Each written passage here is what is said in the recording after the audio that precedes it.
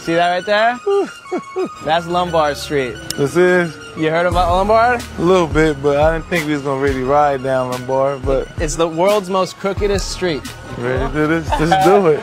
All right, just use your brakes, bro. That's all I'm saying. Kind of scary though, but it's kind of dope though at the same time. I'm trying not to think about the scariness, you know? Yeah. Almost there, dude. All right. Swaggy P coming through. You know what this calls for? One of those Swaggy P celebrations. All right. Which one? Tell me about.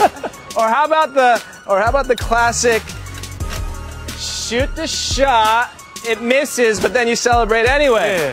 See, So you're not scared of dolphins anymore. What about sea lions? if I was down there, panic mode.